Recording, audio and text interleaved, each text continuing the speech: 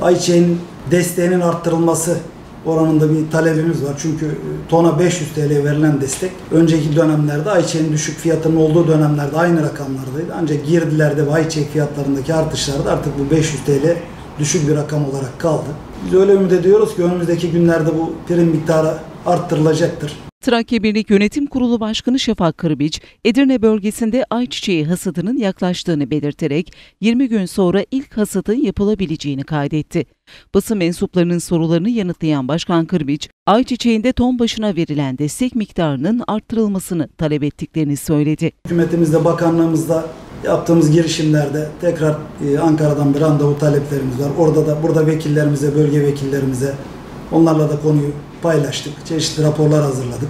Ayçiçeğinin desteğinin arttırılması oranında bir talebimiz var. Çünkü e, tona 500 TL verilen destek önceki dönemlerde ayçiçeğinin düşük fiyatının olduğu dönemlerde aynı rakamlardaydı. Ancak girdilerde ve ayçiçek fiyatlarındaki artışlarda artık bu 500 TL düşük bir rakam olarak kaldı.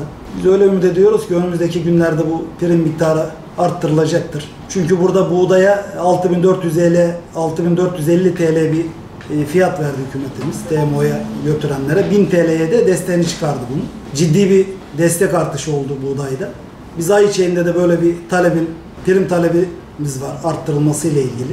Burada önemli olan buğday paritesinde 1'e 2 paritesi vardır. Yani buğdayın iki katı gibi bir ayçiçek fiyatı oluşması piyasalarda.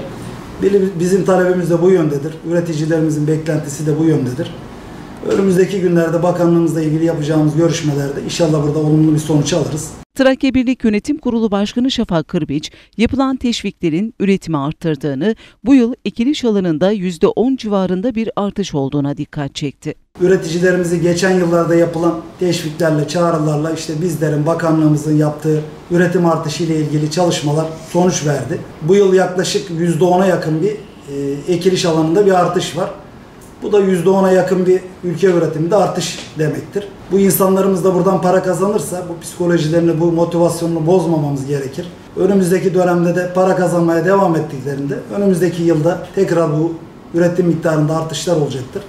Ancak böyle fiyatta bir bozulmalar oluşursa, işte primlerde bir beklentilerimiz oluşmazsa ortaklar anlamında bu motivasyon kaybolup tekrar e, üretim miktarlarında düşüş olabilir. İnşallah bu değerlendirilir, bu göz önünde bulundurulup üreticimizin para kazanması sağlanırsa bu ülke ihtiyacını önümüzdeki yıllarda 3-5 yıl içerisinde biz e, tamamlanacağı kanaatindeyiz. Şimdi rakam olarak tabii telaffuz etmemiz e, şu anda çok doğru olmaz belki ama yani bunun e, ciddi bir şekilde arttırılması talebimiz var.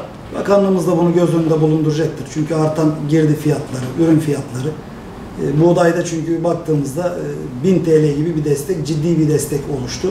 TMO'nun buradaki hamlesi güzel bir hamleydi. E, inşallah biz ayçiçeğinde de böyle bir ciddi bir artışın, e, priminde ciddi bir artışın olmasını ümit ediyoruz.